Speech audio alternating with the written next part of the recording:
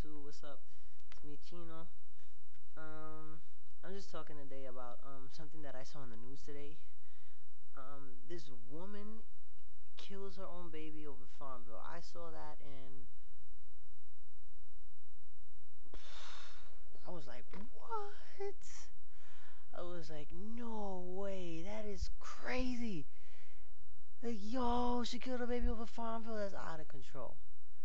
That's crazy. How you do something like that? She better go to jail for the rest of her life. Cause that, wow. That's just, this is, I'm reading it right now. That's why I'm not, alright, let me get my bearings together. Basically, why she did it, she said she was playing, fa- she was playing Farmville, and the baby started crying, and she became angry. She wanted the baby to shut up. So she went and she shakes the baby, and then she goes outside to smoke a cigarette.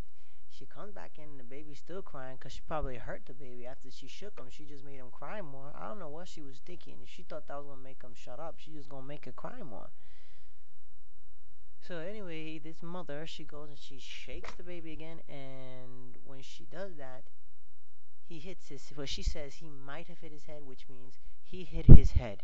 He hit his head, and that's what killed him. And um, been charged with second degree murder, and they're talking about life in prison. Life in prison. Life in prison. Or cut her tubes or something. Don't, no kids for this woman ever again. Like, she deserves to go to jail. I mean, I've heard a lot of horror stories. Sticking your baby in the microwave, or you find your baby in a garbage can, you know, all these crazy, and they're, they're just as bad, but this is cynical, this is satanic, this is terrible. She killed her baby over Facebook, over Farmville, her little three month old. He was probably hungry, he was probably tired, he probably to go take, probably want to get washed or something, or, come on.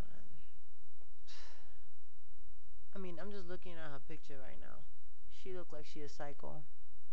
She looks like she's crazy. Oh my gosh. I'm I'll send the link down in the description of the site where I'm getting it from. Um, it has a picture of her. Mm-mm. Yeah, I mean, for someone to become so frustrated to kill your child over a stupid I don't even like Farmville. I, Farmville, I think is so stupid. I mean, no offense to any Farmville fans. Okay, and this is I'm not trying to bash Farmville because this stupid ass individual. But I'm just saying, it wasn't that serious. I mean, even if it was the best game in the world, your children have to come first. You bear them into this world.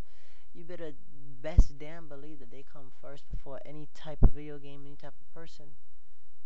Okay, it is crazy. Oh my god. Just like, wow. And then, well, she pleaded guilty to everything, and that's what they're saying.